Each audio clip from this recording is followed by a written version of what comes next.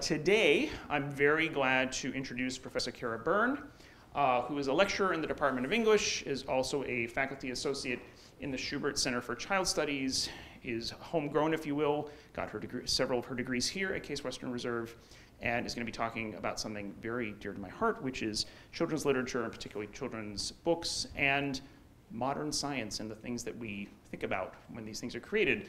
And you can see the title of her talk is C is for coronavirus, P for pandemic, COVID-19 in children's picture books. Professor Byrne. Thank you. Thank you all so much for being here today in person and remotely. I'm so grateful for those watching the comfort of your office, home, or wherever you may be, and for those joining here. Um, before I begin the presentation, I would like to thank and acknowledge several important people. First and foremost to the Baker Nord Center, to Maggie, to Daniel, to Brian, Thank you so much for your support of my research, which spans many years and has led to many publications and partnerships. So thank you. I would also like to thank the wonderful faculty and staff at the Schubert Center for Child Studies and the Schubert Center Fellows Eduardo Williams Medina and Hanin Abdel Nabi, who um, will be working with me this semester. Uh, I'd also like to thank my SAGES and English department students and colleagues, especially Chris Kelly, who's given me an amazing amount of feedback at different stages of this project. Um, and finally, to my co-investigator of this larger project, Dr. Kristen Kondrlik of West Chester University in Pennsylvania. So, today's presentation will focus on the emergence of children's picture books about COVID-19 in exploring the ways in which authors and illustrators of children's literature responded to the pandemic, I, aid, I aim to provide a thorough overview and analysis of the subgenre. And while I will spotlight several of the hundreds of picture books published over the last two years about COVID 19, the central goal of this presentation is not to advocate for teaching or sharing these books with children. Instead, I argue that these recent works tell us a lot about how we conceptualize and understand children's roles during the pandemic. So I've divided this talk into four sections. First, I'll talk about the origins of the project and my personal as well as professional connection to the books. Second, I will analyze free COVID-19 ebooks, explaining where one can find over 400 children's books about the pandemic and detail the findings of a coding project that analyzes a sample of them. Third, I will discuss more recent pandemic-themed print picture books, some of which are in the corner, if you'd like to take a look after the presentation. And finally, I will end this presentation explaining what these picture books can teach us about the genre of children's picture books, adult perceptions of children, and ourselves. So I first want to take us back to a time that many of us vividly remember and might want to forget. It was a little more than two years ago when the news of a coronavirus began to emerge and affect all of our lives. Personally, in March of 2020, I was wrapping up an accelerated 10-week spring semester and caring for my two and five-year-olds while nine months pregnant. uh, my five-year-old started coming home from kindergarten asking, what is a corona? Um, what's a virus? Where is China? How many people are getting sick? Are you sick? Is the virus going to make me die? She started asking these questions when she heard murmurs of new terms and strange concepts at her elementary school and at home. She wanted definitions of terms like COVID 19, corona, lethal, and quarantine. Each time, I would try to provide an honest and simple answer. A coronavirus is something that you can't see that can make people sick. And we don't know anyone who has a coronavirus called COVID 19 right now, and we're going to keep washing our hands to stay well. At the start, I would try to respond in a way that wouldn't upset her, but would simultaneously give her a concrete answer. But by mid March, things were getting more challenging. Students at CWRU and many universities were told not to come back to campus after spring break, and my biweekly hospital visits were getting more and more intense. My days were often a strange balance of going to a somber and anxiety-filled hospital, checking on how close to labor I was, with staying in my home, a place that everyone expressed was the safest place for my family and me to be. When my daughter's schools closed and a stay at home order went into effect, all was even more intensified.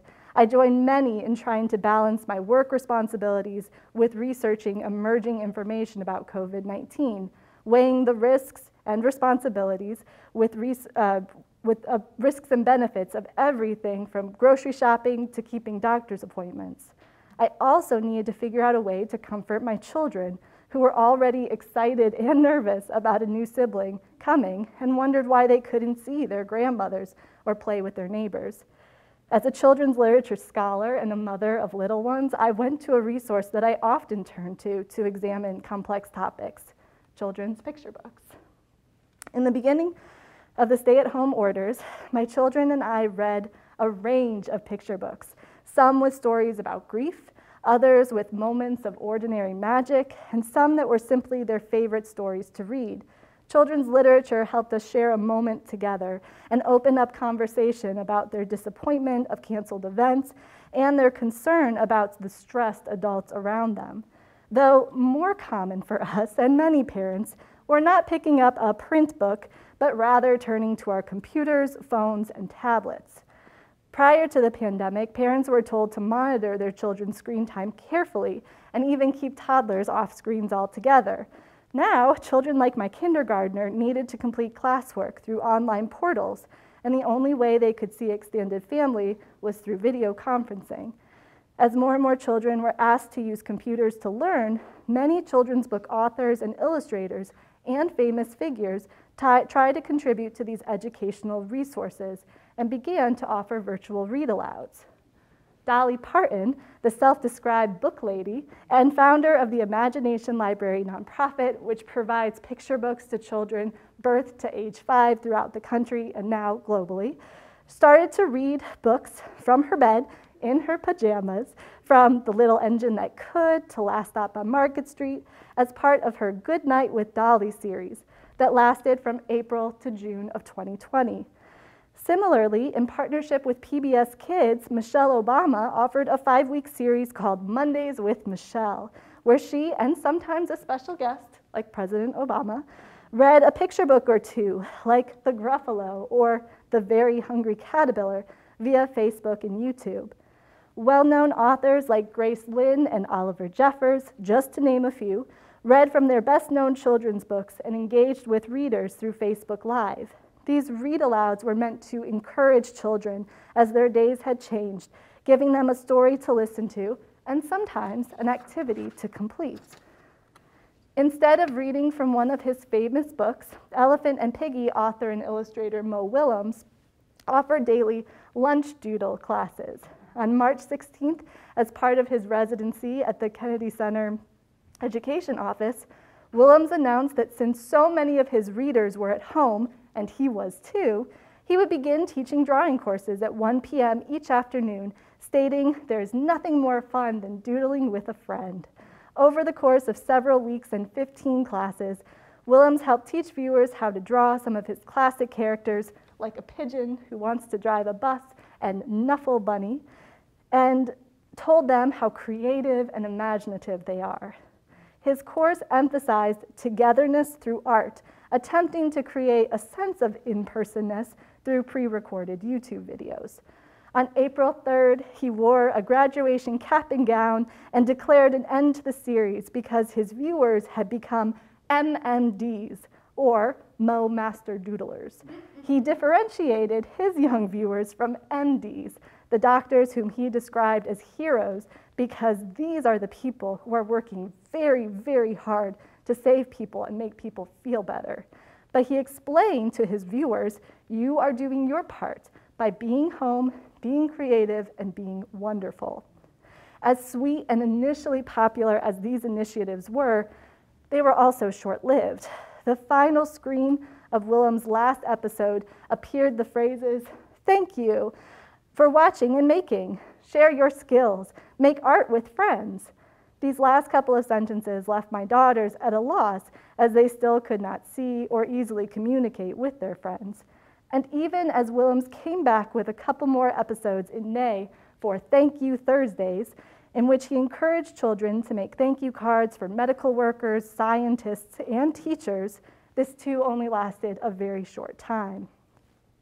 Very few of these series continued past June of 2020. Parton, Obama, Willems and did not acknowledge or speak to growing concerns and the extended timeline of the pandemic, instead focusing on the very temporary nature of staying home. The same day that my son was born, on March 26, 2020, the United States became the worldwide leader in the number of positive COVID 19 cases. His birth marked a time of joy for my small family and a time of overwhelming fear and anxiety of contagion and unknowns about the virus. Millions had lost their jobs, the death rate due to COVID climbed, and hospitals began to fill. While at home with my three kids, I appreciated the temporary entertainment that the weekly drawing classes and read alouds provided, but these videos did not help me address their growing anxieties and questions about when would this all be over. I looked to my daughter's teachers, pediatricians, family, and friends to help me with the answers that I needed. And this is where I found a new way that children's literature was responding to the pandemic COVID 19 themed picture books. So in this next section, I am going to move to an analysis of the hundreds of free ebooks that were written for children in response to the pandemic. Even before my son's birth in late March, I started seeing and reading examples of this new subgenre of picture books. Like other self-published or free ebooks, these books were written and published by individuals or organizations who wanted to share their messages about the pandemic quickly. Unlike the doubt that I was feeling, these books presented clear and confident messages about different aspects of the pandemic. They were also written and distributed by some of the primary sources of information that I was going to, including physicians, teachers, other caregivers, and disease specialists. When I started noticing the surge of these COVID 19 books and their peculiarities, I quickly started saving them. I also tried reading some of them to my kids but the books were often overwhelming, confusing, or simply boring to them. They preferred to go back to the familiar classics and more colorful, engaging stories in our home library. But despite their hesitation, I was still interested in the books, and I was not alone. Patricia Sarles of the New York City School Public Library System began to curate a list of these free online children's books, providing links to the PDFs, videos, or web pages where one could access them. They began this project in April 2020, and as of January 2022, she has collected links to well over 400 titles from countries all over the world. I argue that these books are part of what Heather Houser calls the COVID 19 infowhelm, which she describes as the phenomenon of being overwhelmed by the constant flow of sometimes conflicting information. Instead of having a couple of meticulously and thoughtfully produced children's books about the pandemic to read, caregivers were faced with hundreds, all with slightly different messages, but many with striking similarities. Ignoring the constant information about COVID 19 has not been an option for any of us during the pandemic, and the creators of these books tried to use the genre of children's literature to make sense and represent emerging information to children. So I wanted to analyze the books using my knowledge and scholarship of children's picture book studies. And in collaboration with Dr. Kristen Kondrlik, a medical rhetoric scholar, and Eduardo Williams Medina, a pre-med undergraduate student here at Case, we worked together to develop a form to code the ebooks in Sarles' collection, looking for trends in terms of themes, the way expertise is expressed, and what is being asked of children in these books. We also made sure to save and catalog the books as they tend to be removed from websites as quickly as they are added. And while we are still in the process of analyzing the data, we have coded over 152 ebooks about the pandemic. And a preliminary overview of our findings reinforce some of our initial assumptions while also pointing to some surprising information. One of the first questions that we had was who were writing these books? After coding, we found that over one third were authored by someone in the medical or healthcare field, whether nurses, physicians, or medical students. Dr. Christine Borst's What is Coronavirus defines the what the virus is, how it makes people sick, and even claims that The good news? You don't need to worry about this. It is the job of grown ups in your life to take care of you, and they are doing everything they can to keep you and your family safe. Similarly, physicians Dr. Ebony Jade Hilton and Leon Webb tell the story of Parker learning different ways to stay safe, healthy, and optimistic while staying at home. In most of these books, parents explain to the child that washing their hands, making cards for neighbors, and knowing that we're going to be okay will help them get through this time. In addition to uh, authorship, we also wondered what were the most popular themes and ideas emphasized to children. Out of 152 books, 85 of them show mask wearing. Whether teaching children how to wear one, encouraging them to decorate their own mask, or even explaining how a mask will keep them and others safe, masks are central in these books. Similarly, 102 emphasize staying at home, encouraging children to see their home as a safe place for them and their family members, and as their new school. Many of these titles recognize that children have a number of questions about why they have to stay home, like, why can't I go to school? Or, what's next? And these books attempt to give concrete and hopeful answers to these concerns. As a number of these books were created at the beginning of the pandemic, these themes make sense, though the ways in which staying home is addressed and the kind of homes shown, often middle class homes in neighborhoods where children have access to large outdoor spaces to play in, point to a narrow and privileged vision of what children have access to.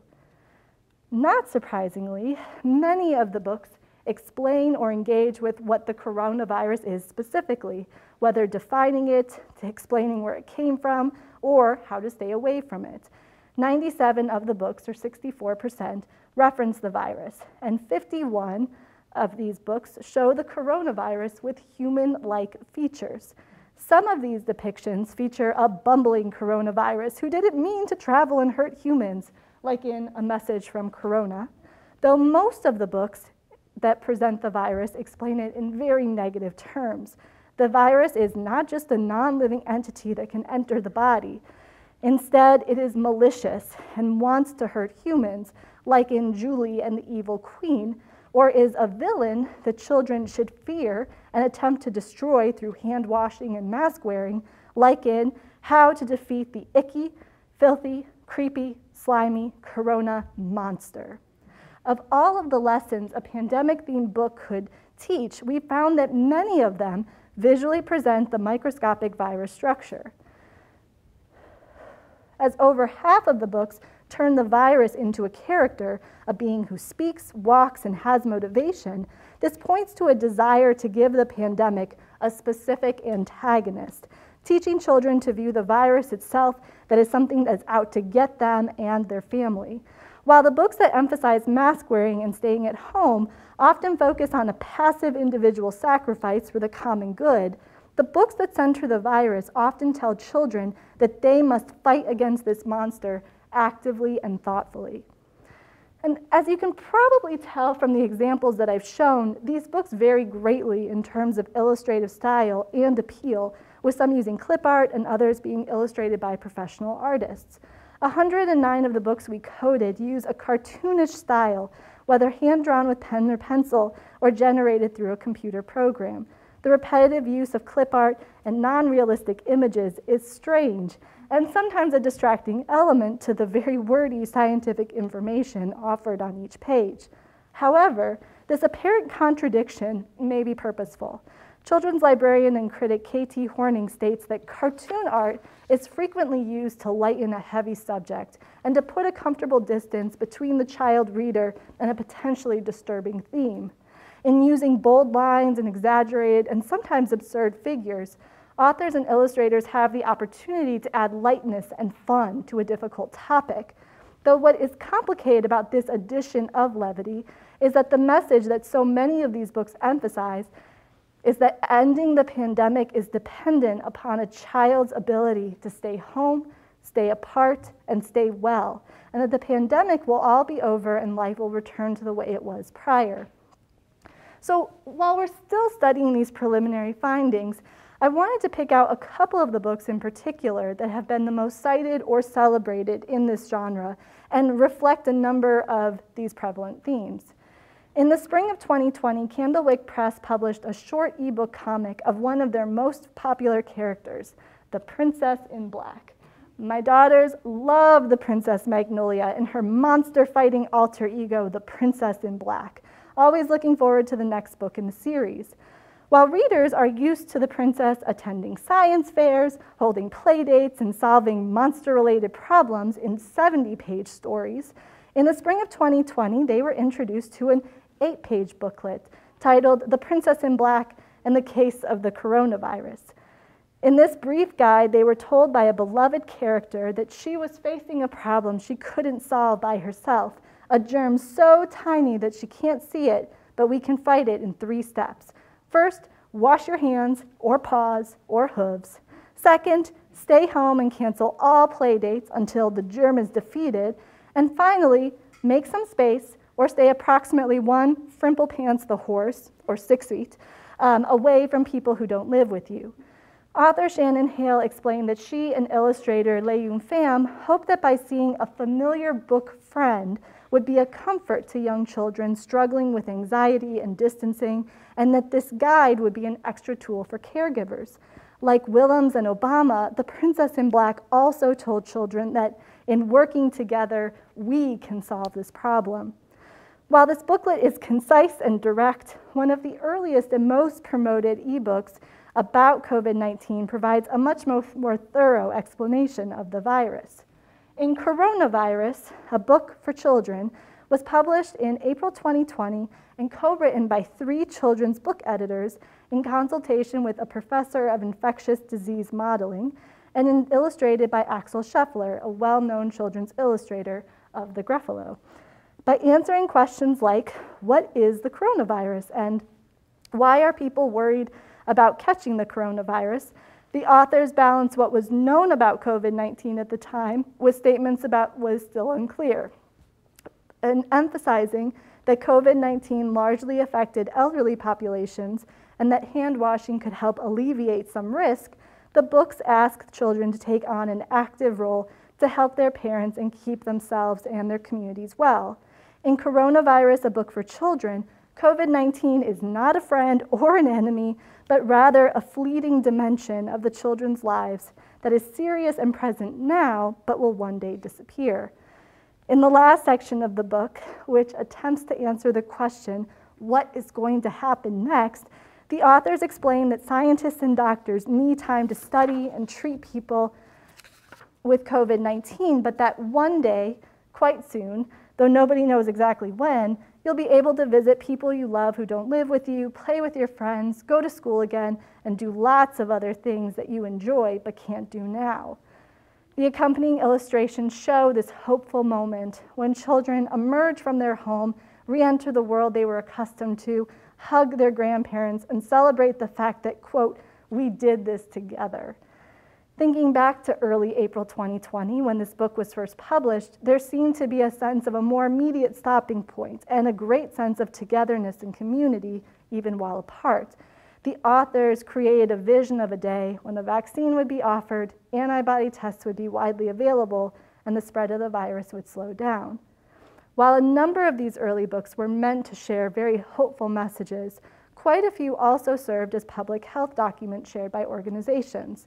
Nonprofits, institutes, and global agencies, including the United Nations Interagency Standing Committee, the Children's Hospital of Los Angeles, and the US Department of Education, shared their own COVID 19 related books for children.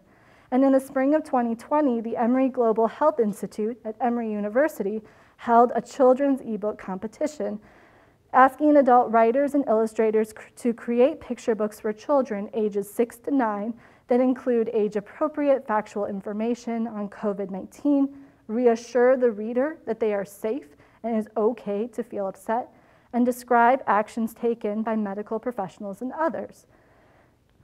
This contact test attracted 260 entries and was judged by 70 professionals with backgrounds in medicine, public health, education, publishing, and the arts. The winning picture book was Beth Bacon and Kary Lee's COVID 19 Helpers, which met the criteria of the contest by explaining that COVID 19 is spread by tiny droplets in the air and celebrating the contribution that researchers, healthcare workers, and leaders made to mitigate the spread. But the central helper described is the child, who the authors say no longer attends school, movie theaters, or birthday parties, but was doing something very important. Many of these books emphasize hand washing, explain what the virus is, and encourage children to be brave and to do their part in stopping the spread of the coronavirus. Children are celebrated and called heroic for, and helpful for staying put, as if they had the choice and agency to do it. Looking at my own children and thinking about the decisions that I, as their caregiver, were making for them, in addition to the changes instituted by their school district, city, and state, I'm often struck by the rosy and impossible vision of childhood that many of these books present, along with their quick and concise definitions of coronavirus and PPE. One of the struggles that many of the authors and illustrators of the first wave of these picture books faced was trying to get information out as quickly as possible. This led to a number of picture book conventions being foregone, including a robust peer review, editors critiquing and making changes, and a more typical release schedule. The effect of these missing elements is often clear in one's reading experience and also helps explain why the creation of these ebooks has slowed down considerably since the start of the pandemic. While most of these books were published in the spring and summer of 2020, more writers and illustrators are creating books for profit and on a slower timeline now. In fact, the last update to the New York website was November 2021, which offers us a concrete window for analyzing these free ebooks and help us understand what doctors, parents, and teachers expected of children during the first two years of the pandemic. So in the next part of this presentation, I want to shift my focus from these free ebooks written by concerned medical professionals, parents, and teachers and published for free online to the print books that are published in a more traditional way and for a cost. While the free ebooks that I just discussed more, tend to be more quickly produced, and meant to disseminate complex information to overwhelm caregivers and children now, many of the hundreds of print books published over the last two years have gone through a more thorough editorial process and use conventional styles, length, and storytelling modes in order to deliver information about the pandemic. And while Kristen, Eduardo, and I have developed a rigorous system for coding the free ebooks, we're also interested in these books that are available for a cost and in print form. We have collected and cataloged 120 of these pandemic themed print books, though for the sake of time, I'm just going to focus on a couple of books that represent reoccurring themes and tropes. Unlike many of the ebooks, the print books are largely written and illustrated by people who have previously published picture books on non COVID topics. First, there are a number of nonfiction books about the pandemic. These readers are often labeled for a specific reading level, pre-K to high school, and often uh, the same author publishes five to 10 books in a series.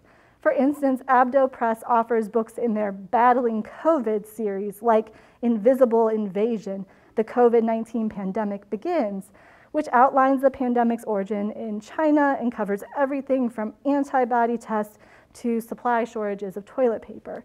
And in Living Apart Together, American Life During COVID 19, it describes the emergence of Zoom and live streamed events. These books frequently include glossaries, discussion questions, and quizzes.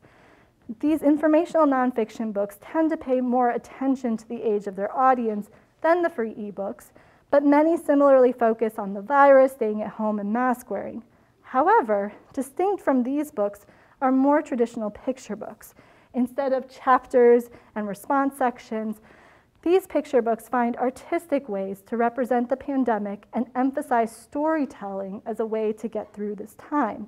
Many gesture toward COVID 19 without ever saying the words COVID, coronavirus, virus, or pandemic.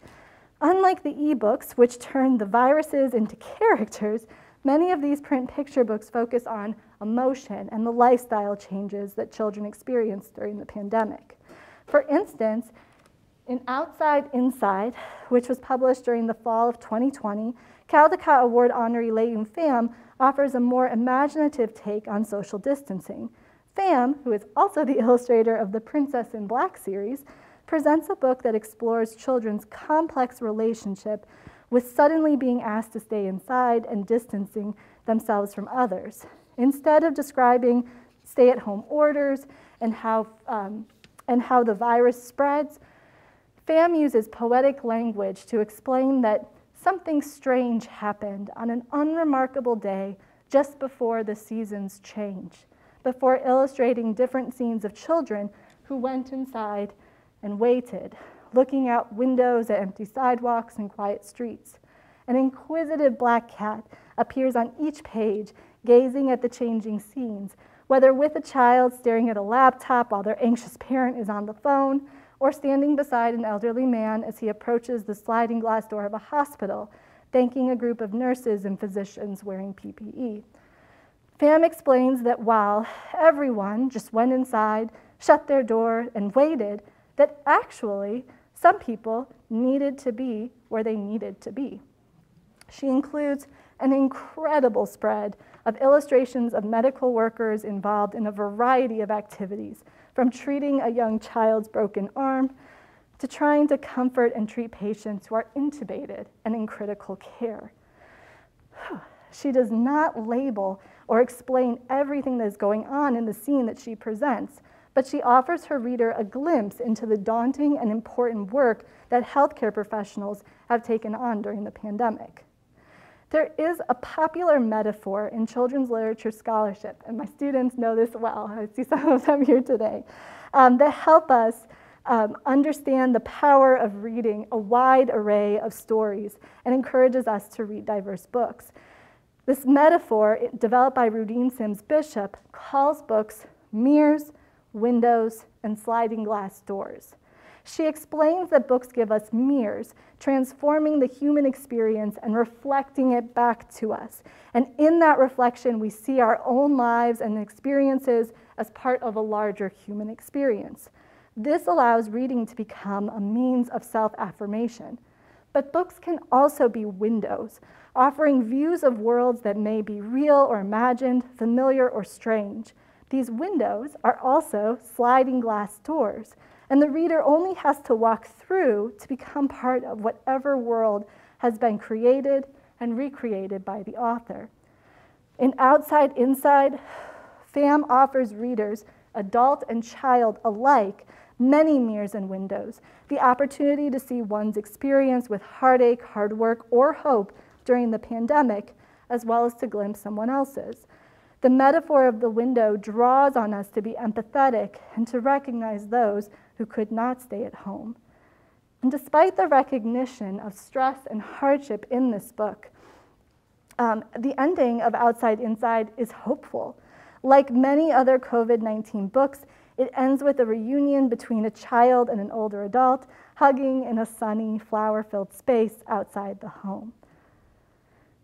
Windows, also published in 2020, written by Patrick Guest and illustrated by Jonathan Bentley, similarly features children watching out of a window, waiting for a time when this new world feels more like the comfortable and social world they were used to. Even though children long to see others, they are comforted by waving from their home's window to mask wearing nurse working on the street and to their friends in other windows. These children put drawings of rainbows and teddy bears in their own windows to lift spirits. Uh, the book ends with a happy reunion of grandparents and children hugging in a sweet embrace, similarly emphasizing the turn from waiting at a window to reconciliation. The windows in these books don't just symbolize a book's ability to see beyond oneself, but in these COVID themed picture books, they also show a yearning to be outdoors and for the world to return to the way it once was. But the windows also situate a child in a position where they are frozen, fixed in one spot, waiting and watching, but not truly participating or affecting change. Like the rainbow drawings hanging in the windows, the children too wait for a happier time when the pandemic is over and life returns to the way it was before the pandemic started. The books don't imagine children facing loss, death, or illness themselves. Instead, largely in these books, the focus is light, happy, and restorative. Rainbows are a frequent symbol in these picture books as well, stemming from early on in the pandemic when children were asked to paint rainbows and paint these drawings in their window. Several of the ebooks reference this activity, encouraging children to color in a rainbow shape and hang it up in their window, or telling the story of kind children who made rainbows as a service to their communities. Though print picture books more often use the rainbow to signal the idea that the pandemic has introduced a scary and intimidating storm, but we are all waiting for a rainbow to come to show us how the world became better and more beautiful because of the trial we lived through. The rainbow can join two friends together, like in Alone Together and While We Can't Hug, or help a child work through their broad range of feelings, as represented by the colors of the rainbow, like in Love Was Inside. But often, the rainbow signifies hope and reminds us of a coming happier future. As Michelle Robinson states in her book, The World Made a Rainbow, the light couldn't shine if it never knew dark, and rainbows can't color the world without rain. As the publication of free ebooks about the pandemic has waned and the publication of print books like the titles I've just discussed has increased, children's relationship with COVID has also changed. Since the start of the pandemic, and as of February 17, 2022, 12.5 million US children have tested positive for COVID. Since September of 2021, about 8 million of these cases were reported, meaning that well over half of the children's cases have occurred in just the last five months. During this surge, children, who make up 22.2% of the total US population, accounted for 22.8% of new cases, with children under four accounting for almost half of these cases, with an increase in hospitalization as well. We can no longer promise children that they will not get COVID, that they will stay well, so long as they properly wash their hands and wear their masks, and that all will return to the way things were eventually.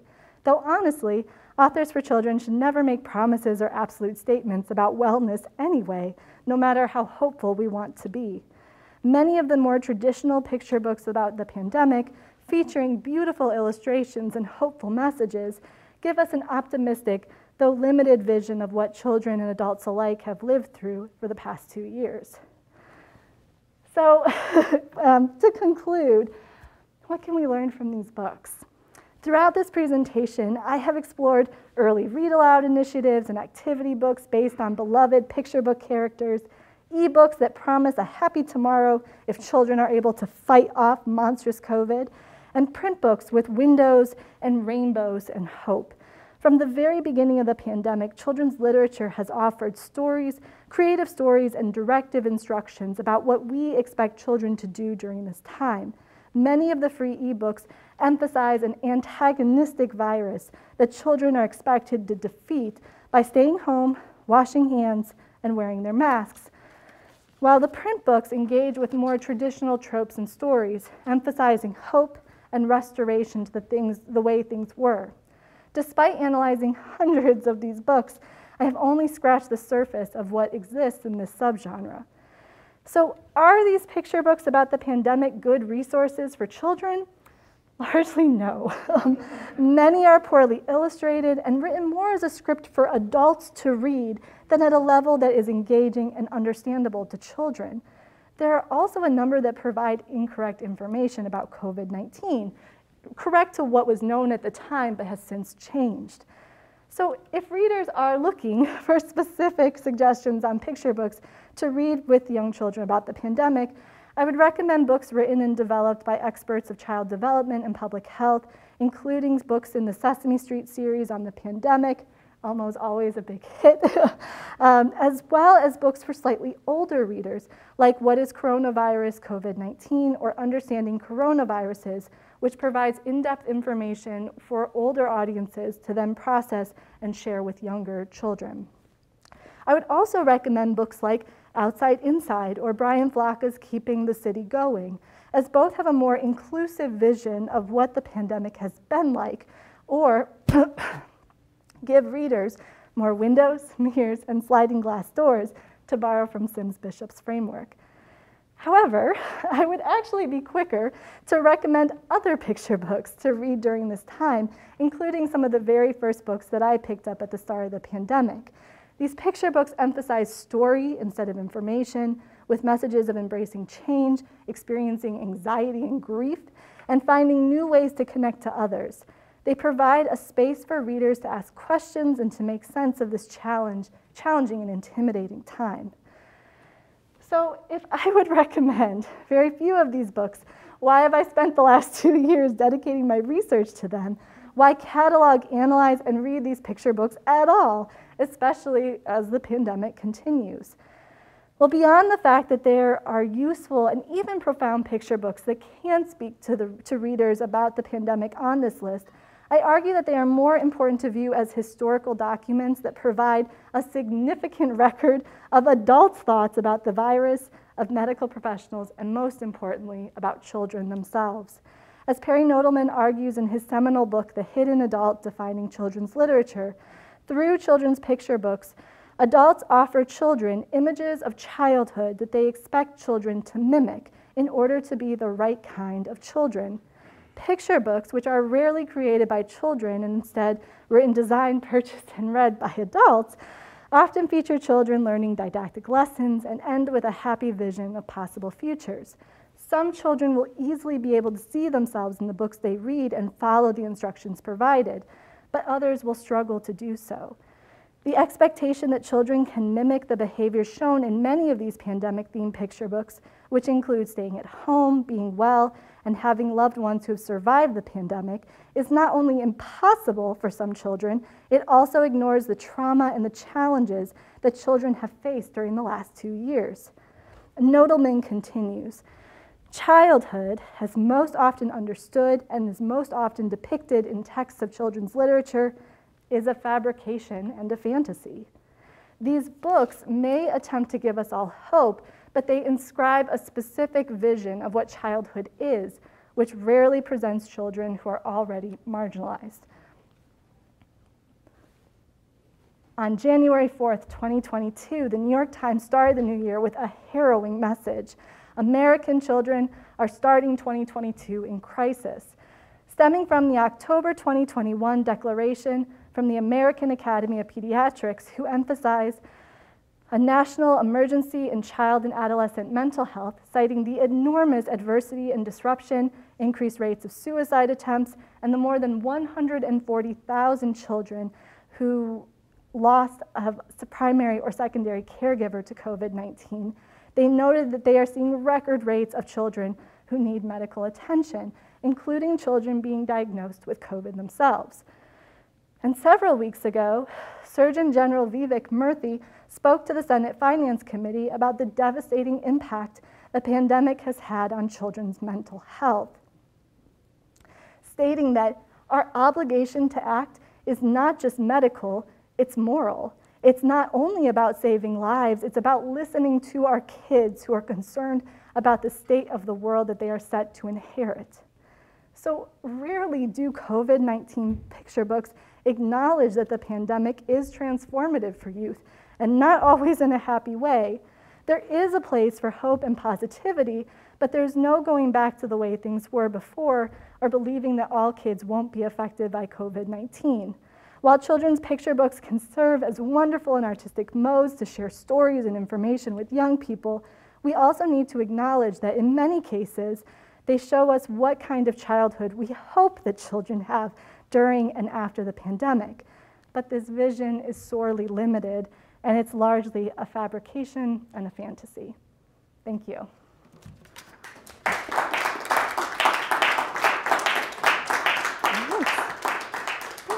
I think we have about 10 minutes. Yeah, we have time for questions. Um, I might start. Yes, Because I'm please.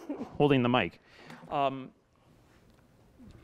am I right in that there has not been so in the modern in the history of the modern children's book, there has never been a single event or theme that has so unified an industry as this one? That's a great question. And this is actually, I think, surprising to a lot of people. The children's picture books, like the one that we're so familiar with, that win Caldecott Awards, that are really geared towards um, our early and even like pre-readers, is, is a relatively new phenomenon, and especially in the number and volume of children's picture books that are published each year. I mean, just in the United States alone, 3,000 plus pieces of children's literature are published. Um, and so we just have an enormous volume in, in ways that, you know, if we think back to previous pandemics, we didn't have. And so one, one possible avenue of research that um, Dr. Kondrlik and I are specifically interested in, she's a, a medical rhetorician who, who looks at um, how medical professionals spoke to patients in the 19th century. So she's really interested in that history, is thinking about how have, has, has there been children's literature that has responded to? And in a preliminary search, not really, or at least not in this way. And this is also where thinking about the ebook or thinking about a quickly created and distributed online for no cost resource that someone can easily access through phone, tablet, and computer, this is really the first time that we're seeing such a variety of books very quickly produced in that mode as well. And so I think this is kind of a, an interesting test case for like what might happen um, you know, as we think about not just the pandemic, but also other large world events that are happening, how do we explain it to children and do we use children's picture books as an avenue to explain that? Or maybe is it, is it not the best genre for that? I might get in trouble for saying this, but you can think about the almost, you suggested this, the almost ephemeral nature especially of the ebooks, and think of them similar to broadsides, popular song. There's all kinds of parallels, but specifically targeted at children. Yeah. Yeah. So. Oh, um, we should talk more about yeah, that. we can talk about that. Uh, questions? Uh, I'll hand you the mic if you have a question, so so people listening can hear. Any? Oh yeah, Brian. Thank you, Cara. That was a really interesting talk. Um, my question is whether there were any anomalies. So there weren't many books you could recommend.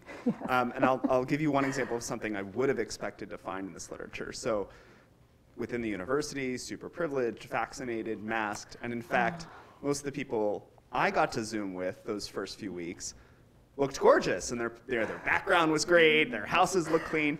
And one of the most striking things as a parent was that my kids were seeing things that weren't talked about in school. Yes nudity and profanity and yeah. um, just you know and sometimes there were things going on in our house that i hoped their teacher and their classmates didn't see yeah. um, so for example did any of the books engage with the things kids were actually seeing as they were doing remote schooling the short answer to that is not really and that's what made again like thinking about the strangeness of these books and i you know i'm speaking of this looking at my own kids but like just how limited the visions were. If it did show Zoom, it's just, you know, a couple of boxes of kids, but then the child just went back to the window to look outside.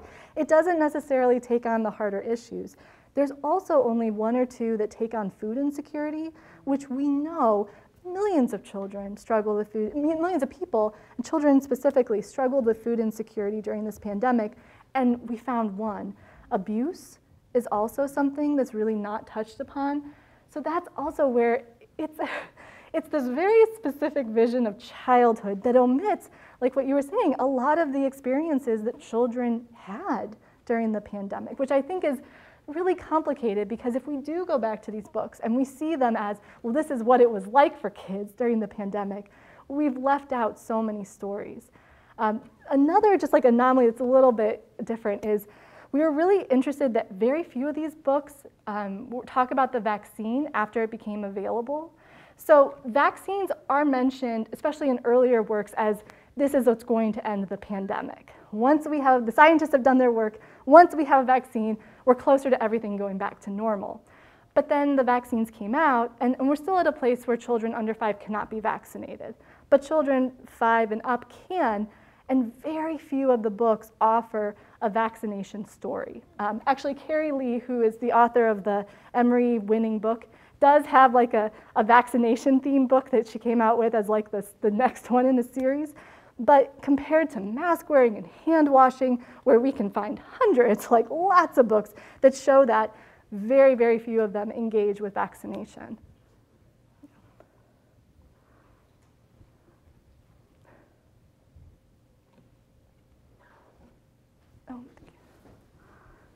Can you say a little uh, bit more about what would have been valuable uh, to make the books more accurate or honest? I mean, you know, I, as a parent of three, my whole my children's entire lives are based on lies. You know, I've constructed like a kind of framework of fantasy yeah, that is like used to, you know, safely get them through to adulthood. Yes. And, but it sounds like in this context, you think that there's something off about that. I mean, this is also where we think about COVID informa- misinformation, which is something that is significant for us to think about. And I think in these picture books, it gets disguised much more readily than like when we open social media and we see something that you know distorts or provides you know false information. And this too is where we can think about what should picture books do. Um, I, I think that you know one of the reasons why I don't emphasize or encourage these necessarily, with the exception of some of the books. So going back to the slide, that do provide kind of a reader-friendly information. Like, because for some readers, having like being able to see a microscopic vision, like um, illustration of a coronavirus, could be really comforting and useful. So I don't want to discredit the fact that there are picture books that provide scientific information or or you know, specific orientation towards the pandemic that could be useful. However, I think that a lot of them aren't as useful because they, they just don't really represent what kids are, are thinking about or questioning. And that's where, again, I think looking at books that think about emotional responses. Like right now, we're focusing a lot on mental health in children because we are seeing a crisis there. So books like The Rabbit Listen talk about, you know, what people sometimes talk as like big feelings in kids or grief. So having books that talk about loss. One of the amazing assumptions that so many of these books about COVID make is that no one you love is going to die. Like all of this is going to go back to normal, and you, the child, aren't going to get sick. So many of the books early on promise that. And again, 12.5 million children who've tested positive for COVID, and children have gotten sick and died. Like that's you know something we know too. So yeah. Oh, sorry. Yes. So I know you're, you're talking about uh, like how these books are maybe not the best ways to receive information. So with the increase in like uh, resources like like videos and like uh, Yeah. uh, um, like news articles, what do you think is the most effective way Oh, to? Alvin, that's a great question. and this is where, too, I mean, so I think caregivers have to assess, you know, what's what's best for their kid, and, and listening to their kids too, because I think often like we think of that as a responsibility to like figure out the best resources, but as I mentioned to Chris, like that'll look different for different kids. You know, again, some kids will be really um, profoundly moved by getting a lot of scientific information about COVID, whereas others you know, we'll do better to think about like a more imaginative story that, that helps them process big feelings or change. Like the idea that we, we don't know what's going to happen the next day, that's daunting. And that's really hard as a parent to try to explain to your child as well. Um, so there are a number of incredible resources. You know, again, for this presentation, I focus more on books just because that's what I've been studying. Um, but there's I wish I could also say, so like the CDC has not given or issued a children's book about COVID. They're actually one of like the few larger organizations that hasn't done that. Um, and so I can't necessarily name or recommend sources from, from other maybe well-known sources, um, but I would again just point back to these and, and I think another iteration of the project is thinking more like, are there animated shorts that talk to children about COVID-19 or you know, other forms of media that could also, that could maybe be better at doing this than picture books? I think I think that's a great way to end. Yes. Let's thank Professor Byrne again for a Thank great you. talk. Thank you all so much. And thank you for the time. Thank you.